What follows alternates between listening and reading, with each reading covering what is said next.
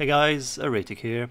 Uh, today I want to talk to you about a bug that I recently discovered that affects frost mages. This is a damage increasing bug and it works by exploiting Icicle's interaction with crowd control.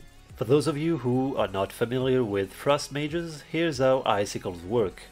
When you cast Frostbolt or Flurry, you gain one Icicle. You can have a maximum of 5 Icicles stored at the same time, and when you use Ice Lance, all the Icicles you stored are launched at your target, dealing damage. So as you can see in this example, my Icicles did around 60k damage, and I had 10 Icicles hit, which is exactly what you'd expect since I had 5 Icicles and I'm playing with the Splitting Ice talent, so 2 targets. Now I'm going to show you the bug. It requires a lot of haste to work, so that's why I'm using Icy Veins here.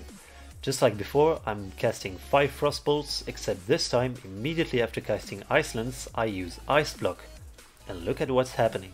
Icicles keeps dealing damage. Even though I should have lost the two remaining stacks I have, they did not fall off, and Icicles is constantly dealing damage until my Ice Block ends. And the result is quite impressive. Instead of 60k like it was before, my icicles now did over 600k damage. And instead of 10 hits, I got 90.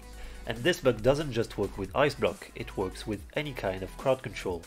Here is one of my most recent attempts at soloing Heroic Imonar and as you can see it works exactly the same. I get crowd control and Icicles is constantly ticking damage. And this is actually how I discovered this bug. Also be aware that this bug will not work if you're spec'd into Glacial Spike as this talent completely changes how Icicles work, so remove it if you want to try it.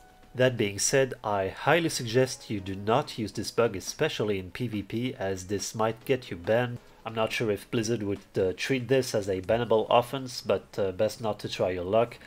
So here it is, I have no valid explanation as to why this bug works, but it does. So that's all I've got, thank you for watching and see you next time.